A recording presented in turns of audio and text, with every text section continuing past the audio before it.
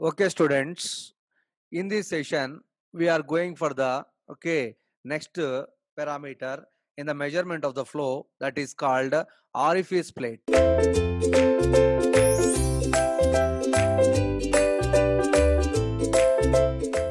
Okay, a orifice plate, as I told you, has given over here. Okay, the orifice plate is basically a thin metal plate with a circular opening. Okay, with a circular opening. This is a metal plate, my dear students, uh, with a circular opening. Okay, this is the measuring of the orifice. Where here we are going to measure the orifice. Okay, this one is orifice plate, and this is a tab handle. Okay, how to handle this one? Okay, and this is the drain. For drain source, if any slurry, anything will be present, that will be come out from this particular drain orifice. Okay, this is uh, the general. Okay, what the concept I am going to tell you is okay. So these orifice plates generally, okay, we are going to use uh, at uh, various places okay and i told you that uh, the orifice plate always uh, okay is most widely used one because of its simplicity and low cost okay so it is a most widely used flow metering element okay because of its simplicity and a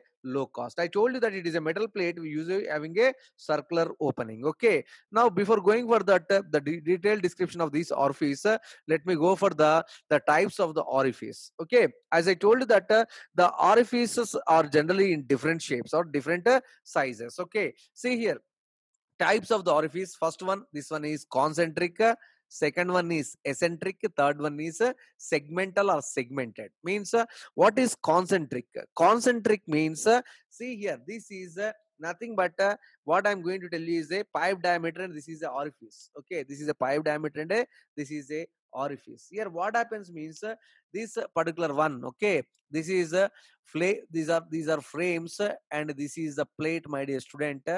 This is the plate okay this is central one is orifice and pipe inner diameter okay like this. See here in concentric means uh, there is a small hole is there over here that is to see here generally that is uh, to hold to avoid air pockets okay. So in concentric one uh, how we can identify this plate is a concentric one means see this is orifice center and the here the this is present and this is here like this this is at this point and this is a here. There is a distance between the air pocket and the center. Then the reason this is called a concentric my dear students. Eccentric means uh, this one is touching this. This one is uh, touching here okay the air pocket uh, that is called eccentric. Third one is segmental. Segmental means uh, these are bisecting okay? These are going to be overlapping. Both are overlapping. Generally among these three types we are going to use always the concentric type uh, my dear students okay? We are going to use the concentric type okay?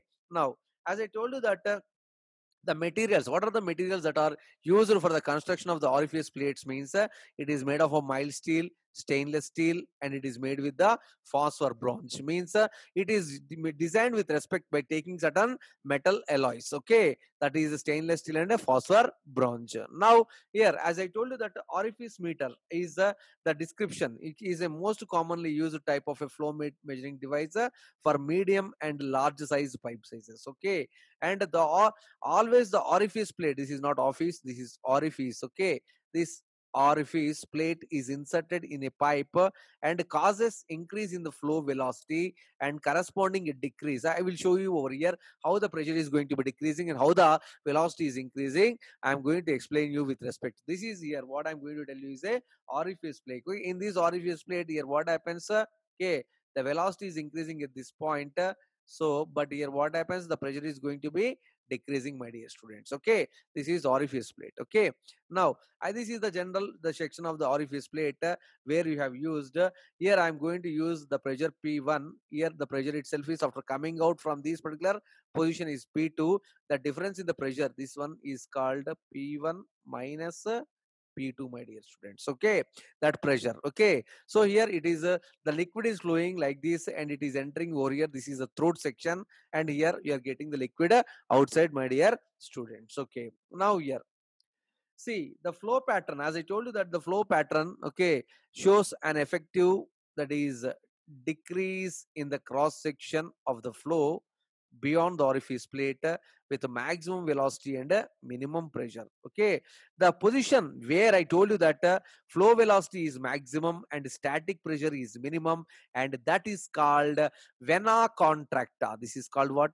Vena contracta, my dear students. Let me explain about this particular vena contracta in a detailed manner okay as i told you that uh, this this is orifice plate uh, for this particular orifice plate generally installed in the pipe always we are going to be installing in the pipe which creates a pressure differential as it flows through it okay?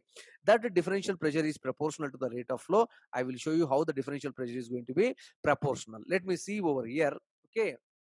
Generally as i told you that uh, these orifice plates are low cost uh, they are in different sizes uh, they are very rough in construction effective and reliable. You can use for a longer periods of time. It has a low installation cost uh, and a turn down ratio of 4 is to 1 okay?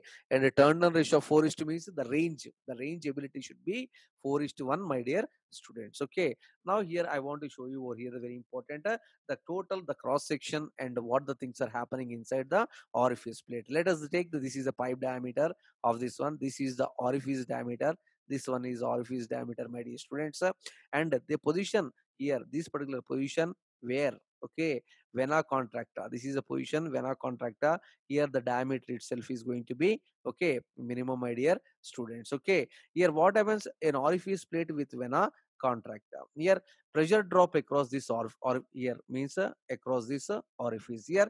I told you that the, the position where here the velocity is maximum and the pressure is minimum and this situation is i told you already it is called a vena contracta my dear students okay? Now the orifice plate i already told the working when i'm going for the working of the working principle of the orifice plate uh, the orifice plate is inserted in a pipeline between the two flanges. So see here i'm going to apply in between the two flanges okay? This is i'm going to apply this is flange one and this is a flange two. I'm going to apply in the the orifice plate i'm going to be located here. I'm going to have located this is the orifice plate. Over here my dear students okay? See here the fluid flow whatever the fluid flow you are going to take it over here the fluid flow which i am going to tell you itself is uh, through the orifice causes an increase in the flow velocity and decrease in temperature. So here increase in the flow velocity of the liquid and decrease in the temperature will going to be takes place. Okay? I told you that uh, one position okay at one position what happens means uh, beyond the orifice plate the velocity is maximum and uh, the pressure is minimum my dear students. Okay? Here what happens? At one position here